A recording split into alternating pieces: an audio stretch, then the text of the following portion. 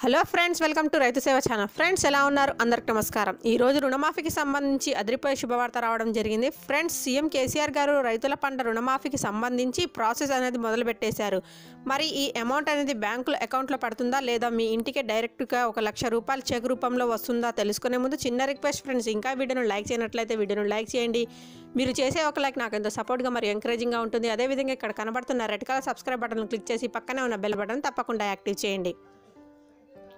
గడిచిన రెండేళ్ళుగా రైతులు ఎప్పటికప్పుడు అని ఎదురు చూస్తున్న రుణమాఫీకి పథకం అమలుకు సమయం ఆసన్నమైంది. త్వరలో జరిగే అసెంబ్లీ బడ్జెట్ సమావేశాల్లో భాగంగా ప్రభుత్వం స్పష్టమైన ప్రకటన చేసేందుకు సిద్ధమవుతుంది. గతంలో మాదిరిగా బ్యాంకుల ఖాతాలో జమ చేయకుండా ఈసారి నేరుగా రైతుల ఇళ్ళకే గరిష్టంగా లక్ష రూ వరకు చెక్కులను అందజేస్తున్నారు. రెండు వేల పద్దెనిమిది ఎన్నికల ప్రణాళికలతో ఇచ్చిన హామీని నిలబెట్టుకుంటూ వచ్చే ఆర్థిక సంవత్సరం నుంచి అర్హులైన రైతులందరికీ రుణమాఫీ నిధులను పంపిణీ చేయాలని ముఖ్యమంత్రి కె. చంద్రశేఖర్ రావు నిర్ణయం తీసుకు అయితే ఎన్ని విడతలుగా ఈ మొత్తాన్ని అమలు చేయాలన్న అంశంపై ఉన్నతాధికారుల యంత్రాంగం కసరత్తు చేస్తుంది. దాదాపు ముప్పై ఐదు లక్షలు దాటే ఉండే లబ్ధిదారుల సంఖ్యను దృష్టిలో పెట్టుకొని తుది నిర్ణయం తీసుకోబోతున్నారు. అధికారుల అంచనా ప్రకారం సుమారు ఇరవై నాలుగు వేల కోట్ల రుణమాఫీ పథకం అమలు అవసరం కానున్నాయి.